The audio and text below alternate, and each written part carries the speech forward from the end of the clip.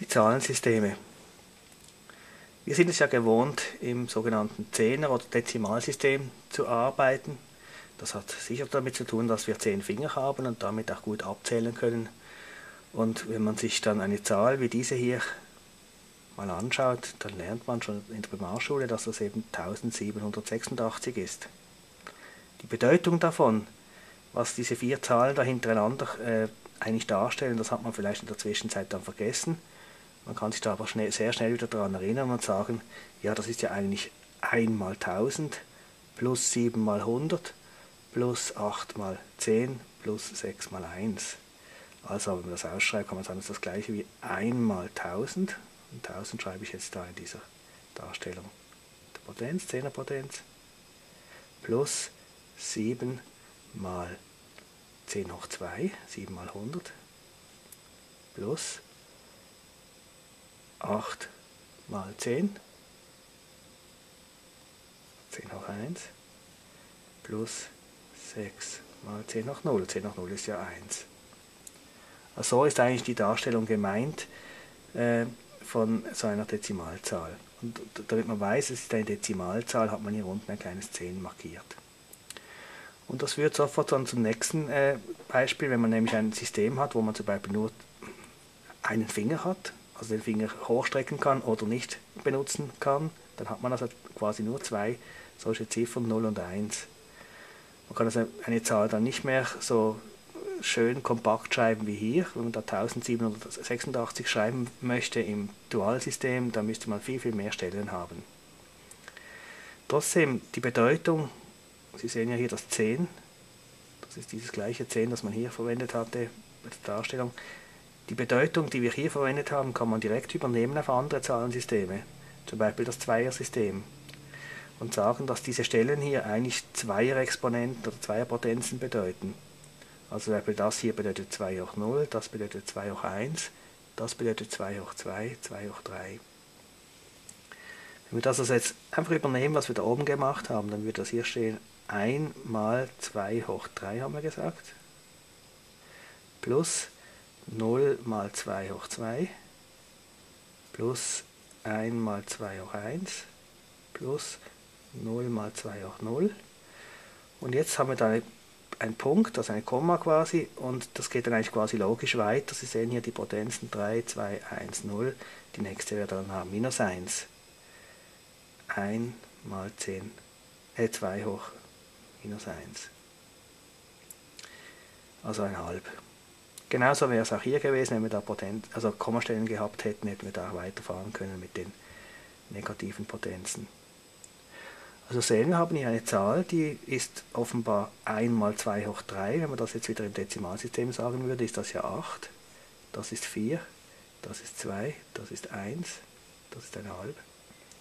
Wir kommen also, wenn man das zusammenzählt, auf 1 mal 8 plus 1 mal 2, das gibt zusammen 10. Da kommt nichts und dann kommt noch ein Zweitel dazu, das heißt wir haben insgesamt dann 10,5 oder 10,5. Und jetzt müssen wir sagen, im Dezimalsystem. Deshalb das kleine 10 da unten. So rechnet man also äh, von einem anderen System ins, Zweier, ins Zehner-System zurück. Das Zweier-System, das Dualsystem ist sehr bekannt, weil das gerade in der Elektronik und Digitaltechnik viel verwendet wird. Man kann aber auch hier ein 3 oder ein 4 sich vorstellen und entsprechend die Zahl dann auch umschreiben ins bekanntere Zehner-System.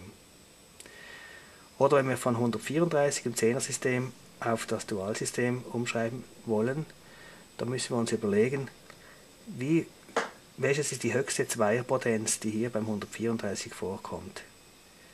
Zweierpotenz, das fängt ja an mit 2 hoch 0, das ist also 1, 2, 4, 8. Jetzt kann man weiterzählen. 1, 2, 4, 8, 16, 32, 64, 128, 256. Also 2 hoch 9 wäre 256, ist bereits zu viel. 2 hoch 8, das wäre 128. Das hat hier noch Platz drin. Sie können sicher sagen, das ist das gleiche wie, jetzt schreiben wir das als 2 Exponenten, 1 mal 2 hoch 8. 2 hoch 7, also 1, 2, 4, 8. 1, 2, 4, 8, 16, 32, 64, 128, 207, jawohl. So. Dann fehlen jetzt aber noch äh, von 128 auf 134 6. 6 teilen wir dann auch auf in zwei Exponenten, das ist sicher mal 4 dabei, also 1 mal 2 hoch 2 plus äh, 2, also 1 mal 2 hoch 1. Das heißt, wir haben jetzt nur diese zwei Exponenten, zwei Potenzen 7, 2 und 1 benutzt. Wenn wir das jetzt also als Dualzahl schreiben wollen, dann können wir sagen, das ist 1 mal 2 hoch 7, 0 mal 2 hoch 6, 0 mal 2 hoch 5, 0 mal 2 hoch 4, 0 mal 3, 2 hoch 3, 1 mal 2 hoch 2, 1 mal 2 hoch 1. Die gleiche Zahl im Dualsystem. Und äh, 2 hoch 0 muss ich noch dazu nehmen natürlich, das habe ich jetzt vergessen. Ich muss bis zur Kommastelle oder ja bis zur letzten Stelle ohne Komma das ausschreiben.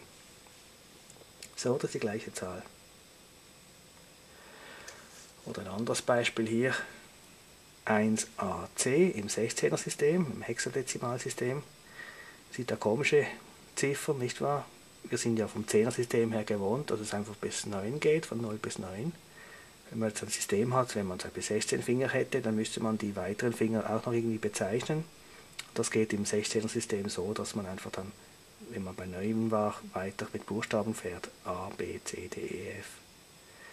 Und 1AC im 16er System, da muss man jetzt also sich überlegen, das ist 16 hoch 0, 16 hoch 1, 16 hoch 2. Also 1 mal 16 hoch 2.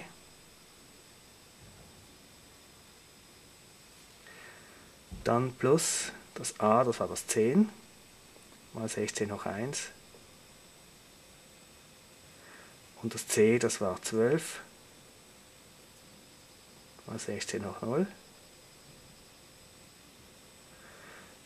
Also 16 hoch 2, das ist 256, plus 10 mal 16 hoch 1, also plus 160, plus 12 mal 1, also plus 12, das gibt 428 im Dezimalsystem. Und das gleiche könnte man jetzt analog wie da oben auch ins Dualsystem umschreiben.